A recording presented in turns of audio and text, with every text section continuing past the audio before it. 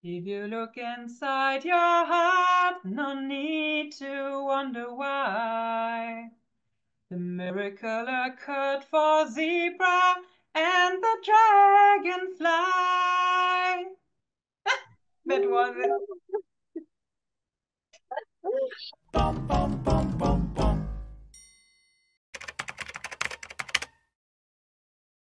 I do not know when it started, but I just loved singing. I played uh, the piano when I was a child because my grandmother supported this and uh, sponsored me and my brother to play piano. And then there was a children's choir in our village, and I just wanted to be in there. And I always sang under the shower and everywhere. My big brother was always so, oh, be quiet when my friends are here. Please don't sing that loud.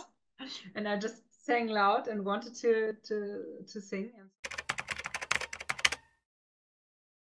And what about the like your social skills? Do you think that singing helped you to improve your social skills? Totally. Uh, when I remember being at school, was with my normal class. I was just a normal girl, and I was maybe more kind of shy.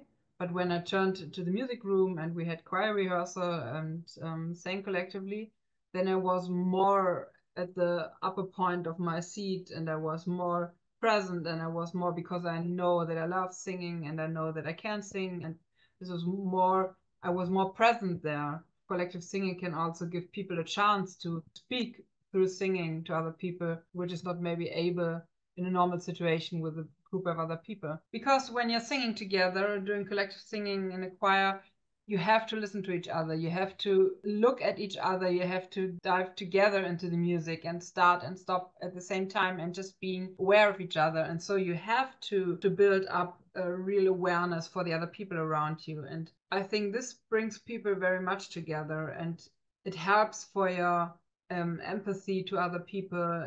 Something nina actually extremely interesting. And you use this expression uh, you build awareness for the other people well, for sure, there are not all of the people my friends, but I spend time with him. And often there are also maybe some strange people or people I would not spend my time with or not go into holiday. But this is the thing when you're in the choir. And I think that uh, when you go, then have concerts and be on tour, that a group can support maybe also difficult people that they can be in a safe surrounding and that they can have fun and they can have kind of friends. Choirs are very open and very fair. A group can support everyone there. This can also be very inclusive. I think that a lot of people are longing for this, but maybe the most of them do not know where to find it. Yeah, when I'm talking to people who are not singing in a choir and I'm telling them that we're spent the whole weekend together, that I'm leaving somewhere earlier because I have to, to get my choir rehearsal and all these things,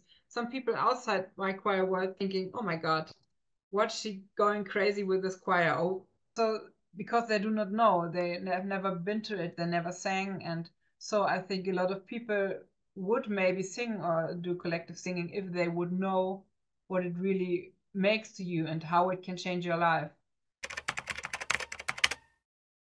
There are shirts where it's written on don't go to a therapy, just find a good choir. And then you have the solution. Well, this is kind of fun, but I think there's truth in it. And maybe it also helps in releasing emotions because when you sing out, you are also kind of releasing what you have inside and expressing your feeling.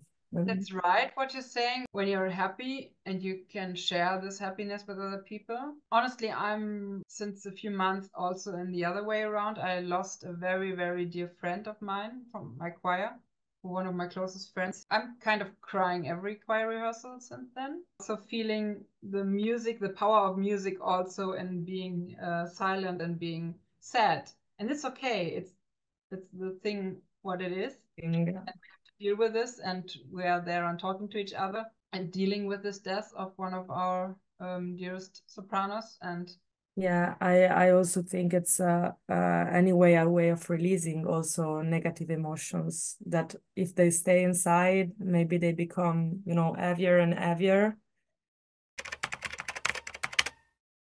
if they are singing in a choir, they could go to the next choir rehearsal and maybe tell the neighbors that they love singing and that they're happy to sing together and that this is a pure gift that they're doing this. If we are not singing in a choir, maybe you should find a choir. Be brave and try it out. I'm sure you will never forget this experience and you will love it.